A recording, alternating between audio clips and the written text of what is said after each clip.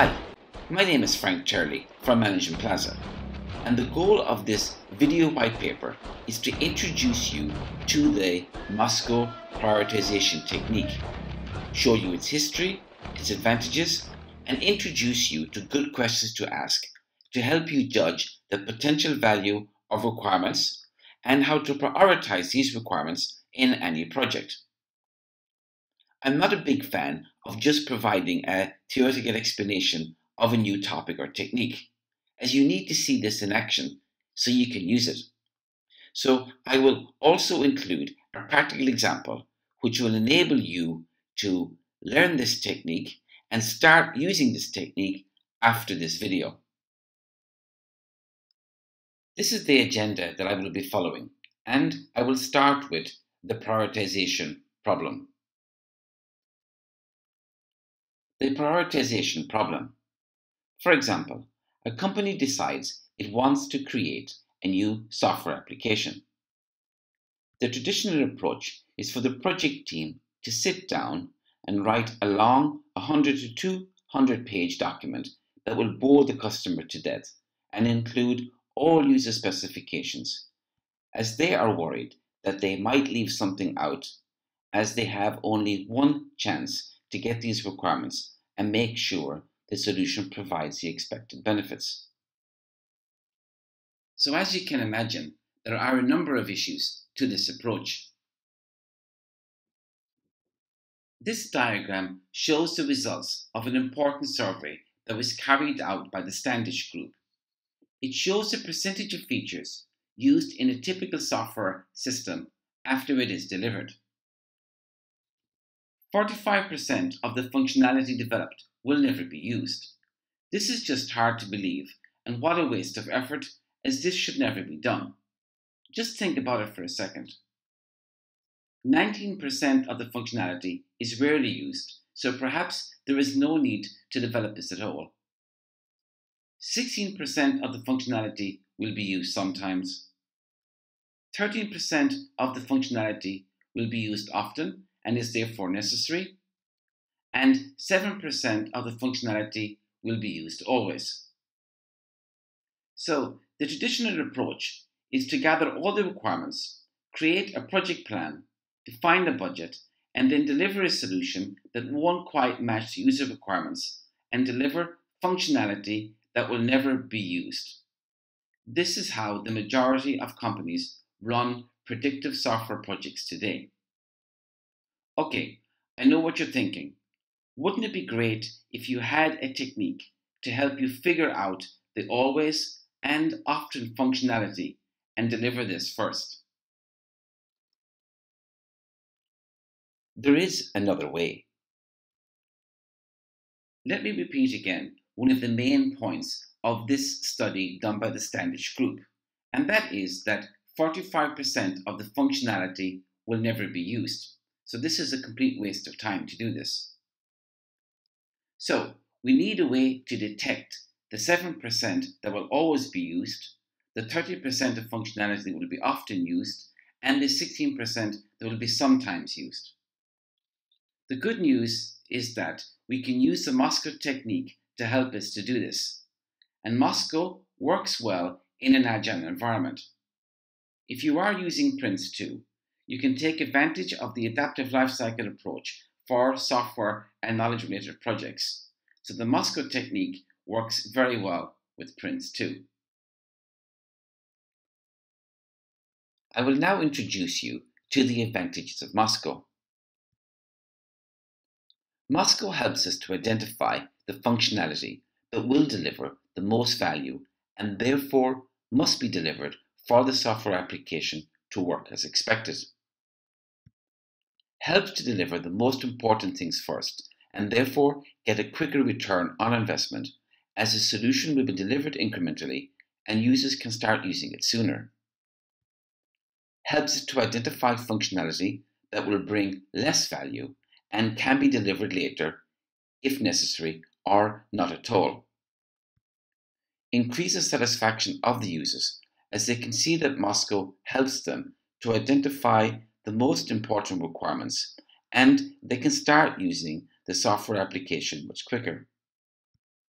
It also provides a better foundation for adaptation as users continue to give feedback during the project so the application will work as expected. So now you know how good MoSCoW is, but how do you explain this MoSCoW approach to your boss or to the person who will pay for the project? The best way to present the value of MoSCoW is to ask these questions, as it will help to get them thinking and hopefully get three yeses. Start with saying, it is practically impossible to get more than 50% of the requirements written down at the start of a software project. So, should we try to avoid this impossible task? The answer should be yes. If the answer is no, then it's time to update your CV. Next question Would you like that we avoid creating the 45% of features that will never be used? We should get another yes. Next, would you like to start off by recognizing the most important requirements first so we can deliver these sooner? We should get another yes. And lastly, would you like to get a good return on your investment sooner? And we should get one more yes. Then you can advise your boss that the MoSCoW technique is what the project needs, and you can use this presentation or video to introduce it. You can also send me an email for these slides if you like. However, there are still some old-fashioned managers that still ask for a full, detailed project specification upfront and also ask for a fixed budget with the time plan. There is not much you can do here except to keep trying. Also, public bodies don't like this approach as it upsets their tender approach. Now I will introduce MoSCoW. MoSCoW is a prioritization technique that is used in business analysis and software development to reach a common understanding with the stakeholders on the importance that they place on each requirement. MoSCoW has four categories of prioritization, which are must, should, could, and won't have for now starting with must have. This is for a requirement that must be included in the final solution for the solution to work. For example, meeting a legal requirement, otherwise the software cannot be put into production. Next, should have. This represents a high priority requirement that should be included in the solution if at all possible. This is often a critical requirement, but one which can be satisfied in other ways if strictly necessary. For example, we can use a manual process for a short time. Next, could have. This describes a requirement which is considered desirable but not necessary. This will be included if time and resources permit.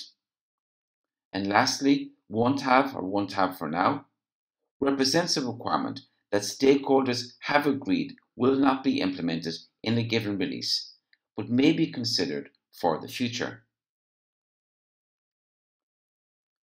So now you know a bit more about MoSCoW, and next is where it came from.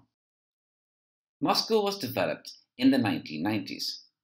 It was developed by Dai Clegg, who was then working for Oracle UK Consulting. Dai donated the intellectual property rights to dsdm.org, which is the most important name in the Agile world. So thanks, Dai, for doing this. Prince2 also adopted MoSCoW in 2009. Perhaps they were waiting for the Cold War to end. MoSCoW is often used with the time boxing technique, where a deadline is fixed so that the focus can be on the most important requirements. For me, the most important agile techniques are MoSCoW, time boxing, user stories, and facilitated workshops. So, how important is your requirement? There are good and bad questions to ask when a person suggests a new feature or new functionality. A bad question. How important is your requirement? If a person comes to you with a requirement and you ask them how important it is, the answer will be very important. This is because it is their idea, and of course, it is very important to them. So, this approach won't work. The good news is that it is possible to ask the question in a different way, and the answer you get will help you and the requester see the true priority of the request. So, a good question to ask is Can the end users use the application without this particular requirement? And the answer has to be yes or no. If the answer is no, that it cannot go live without this requirement, then this is a must. For example, user authentication or a login screen. This is a must to give people access to their data. Another example would be brakes in a car. We cannot sell a car without brakes. This is illegal. So this is a must. You can also ask, can we go live without this requirement? Next question. Does this functionality have a big effect on the business case? Answer yes or no. So if the functionality costs 1000 euro, for example, do we get 5000 euro in return? Or if we add a new reporting feature, ask how much time can be saved via this feature and get a good estimate. Another good example is a password forget feature. This can save a lot of time and money for the help desk as users can help themselves. Next, if the question, does this functionality have a big effect on the business case, is no, we can still measure this and still have some value. The concerned person will now understand this functionality as nice to have, but will not bring a lot of business value compared to other ideas. For example, a feature to save the user ID when the user logs in, so the user does not have to type it in each time. This feature can be added much later but should not be prioritized above more important functionality. And last, can this requirement wait and does it have low business value? You can ask what value will it bring? For example, a feature to save user searches. We find out that this is of interest to only about 5% of the users and will not save much time anyway, as it's so easy to create new searches. So we mark this down as won't have for now, but this might change in the future if more and more users want this and it becomes more complicated to create searches. Remember that 45% of the functionality in the typical software application is never used. So next we can look at an example of how to use the prioritization technique. So our project is a CRM application and I've picked a fictitious company called xwatch.be which is a Belgian company that wishes to develop a new CRM sales application. So they want to sell smartwatches in Belgium as this is a growing market. The goal is to get the shop up and running as soon as possible with the high priority requirements so they can start selling as soon as possible. And these are the requirements that they would like to prioritize. I'm going to list four, starting with one, which is PayPal integration. And based on research, we believe that 2% of clients will use PayPal and 98% will use credit card. The second requirement is link the CRM application with the stock database. So this is needed to provide the number of items in stock, so users can see this. The third requirement is a home page chat feature. And based on our market research, we know that 20% of clients use this service. And the fourth requirement to consider is user authentication. So providing a user ID and password for each user that wants to buy something. So the goal is then to look at these uh, requirements and to prioritize them. So we will start with this requirement to prioritize PayPal integration. And we ask the questions which are listed at the bottom. The first question is, can a client use the application without this requirement? And the answer is yes. The client can still use this application if this requirement is not in there. The next question, does this requirement have a big effect on the business case? Well, the answer is no. It has a very little effect on the business case as only 2% of the clients will actually wish to pay via PayPal. The next question, can this requirement wait and has it low business value? The answer is yes, this requirement can wait and it does have low business value. So then how should we prioritize this? We should prioritize it as won't have for now. So it will not be included in the first versions of the sales application. The next requirement to prioritize is linking the CRM application with the stock database. So again, the first question is, can a client use the sales application without this requirement? And the answer is yes. Clients can still view products, buy and check orders. So this is not a must have. Next question. Does this requirement have a big effect on the business case? And the answer is well, yes and no. It does have some business value, and we estimated to save about 30 minutes support each day. So that is a little bit significant. And then the last question can this requirement wait and has it low business value? And the answer to this is yes, it can wait, and it doesn't have low business value. So we believe that the cost will be about 900 euro, and we will have a return on investment in about four months, which is not bad. So, uh, after considering everything, then we think we should prioritize this as a could have.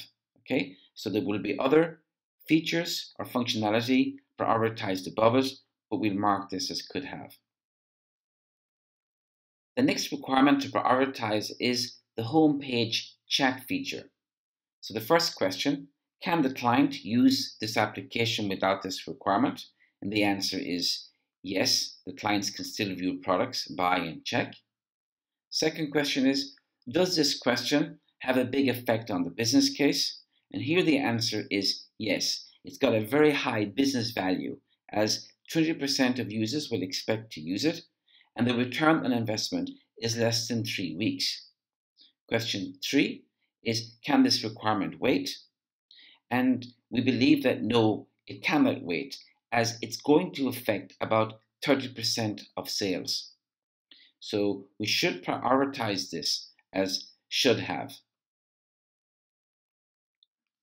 So the last requirement to prioritize is user authentication. So giving a user ID to each of our customers. So the first question is, can a client use this application without this requirement? And the answer is no. Clients will not be able to buy without this requirement, and the shop will not work. So, as we can see, it's needed. Question two Does this requirement have a big effect on the business case? And yes, it does. It has a very, very high business value as we cannot get any revenue without this. So we don't even have to consider question three, and we can prioritize this as a must have. So now we've gone through the four requirements, and this is gives you, or hopefully this gives you a good idea on how to use MoSCoW. So let's do a quick summary of using MoSCoW with this example CRM application. So just imagine if you did this for each requirement. You would be sure to deliver the most important functionality first. So to prioritize the most important things to do first. Deliver lesser functionality later.